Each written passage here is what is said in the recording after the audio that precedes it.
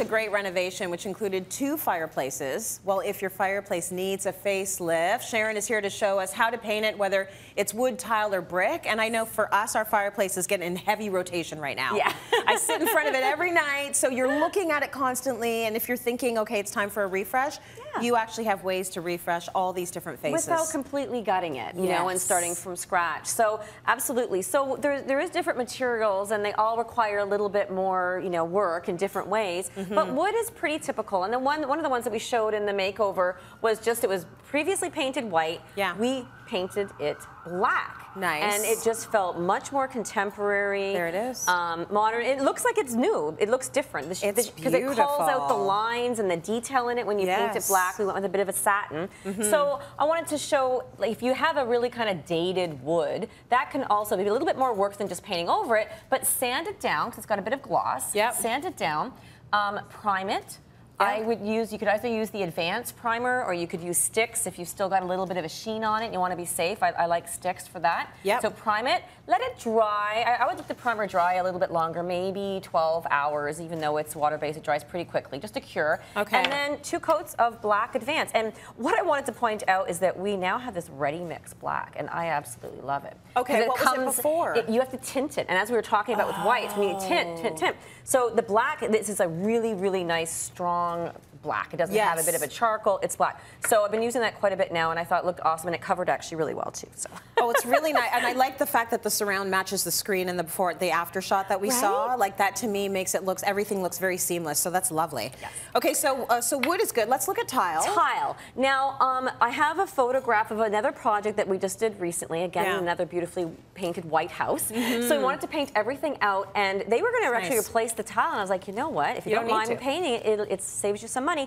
So again, when you're painting over tile, it depends on the type of tile. In that case, it was more of a rough finish, so it was quite easy to paint. Okay. But sometimes you end up with like a really glossy finish on the tile. That can be a little bit trickier, but you still can paint it. So I still scuff it up a little bit with yeah. like a 60 or 80 sandpaper. Yeah. Then definitely use Stix primer. And this actually sticks to hard to paint surfaces and then allows you to paint over top. So again, once that's dried, I used Advance in just sort of a, a beigey cream color that's called clay beige. Okay. And again, a shiny finish. So again, you get the durability and the nice thing with the satin finish is if you do need to clean it, it's easy to easy to wash and, and nice. clean up. And we even did the hearth as well. It was a stone hearth, and we painted that as well. Did you put so does when you put the primer on, does it give it that chunkiness, that texture? It gives it so yeah. Can you feel it, Trace? Yeah, I, I can, sort of feel, feel it there. Yeah. So it's got a little bit of texture, also because I sanded I like it a little bit. Yeah. So yeah, so it's quite nice. And and just use you know a regular roller. You could use a high density foam roller if you want the smoothest finish. Okay. But for this, I would use a roller. For the wood, I tend to use a brush if it's got detail like that one did. Right.